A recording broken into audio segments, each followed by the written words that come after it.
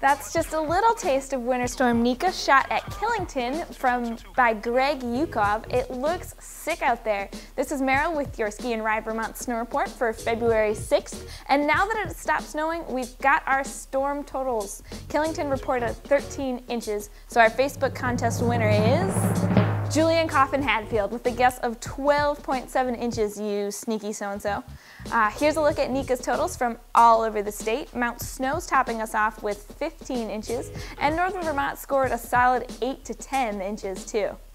Long story short, you'll definitely be able to find some stashes out there this weekend thanks to Winter Storm Nika, and possibly another one on the way Saturday through Sunday, so keep your ears open. With the Olympics just one day away, we're gonna head south and take a look at Stratton Mountain, whose hefty Olympian tally makes them our Mountain of the Week.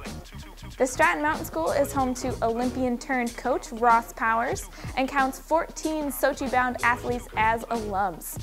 We'll post a list of all the Vermonters to watch at Sochi on ridevermont.com, but the short list from Stratton includes border cross veteran Lindsey Jacobellis and new racers Alex Deibold and Jackie Hernandez, and of course, Danny Davis charging the pipe fresh off his X Games victory.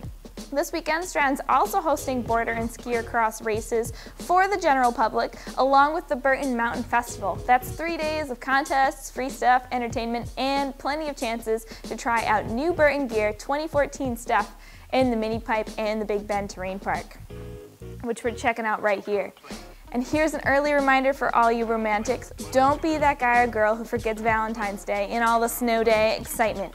Get yourself and your date on the snow with one of the Valentine's Day deals on ridevermont.com right now. Remember to send your photos and videos our way on Facebook, Twitter, and Instagram, and happy powder hunting!